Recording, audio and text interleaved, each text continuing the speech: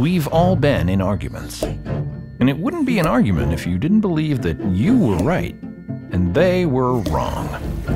But aren't we all wrong? Sometimes? No one is right about all the things all the time.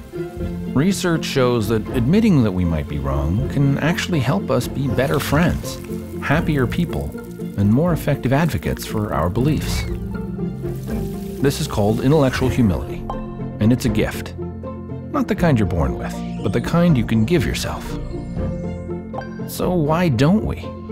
Why is it so hard to admit that we might be wrong? In our minds, our ideas, assumptions, and experiences weave together to form our picture of the world. So you can see why it's painful to admit that something we believe in is wrong. One tug on the thread, and it can feel like our whole sense of self is unraveling. In fact, studies show that our brains actually react to attacks on our beliefs the same way as threats to our physical well being.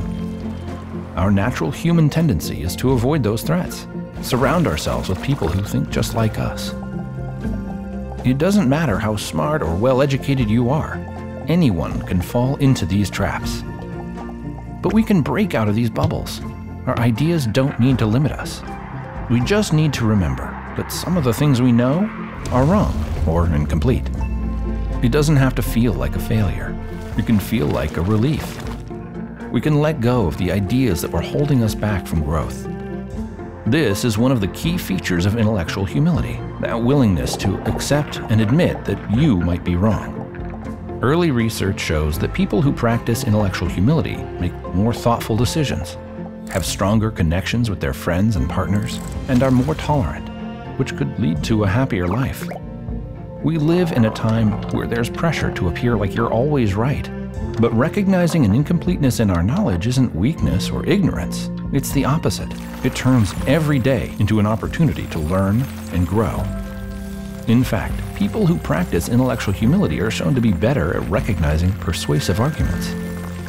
That means you could be a more effective advocate for your beliefs by allowing them to be challenged.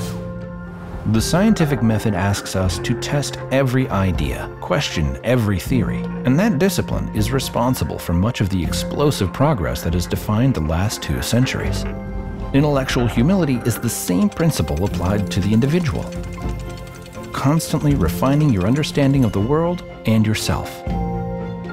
The person you are now only exists because the person you were was willing to grow into something new. Intellectual humility is that willingness. It allows us to constantly search through our understanding of the world and bit by bit make it better. Learn more about research on intellectual humility at templeton.org/discoveries.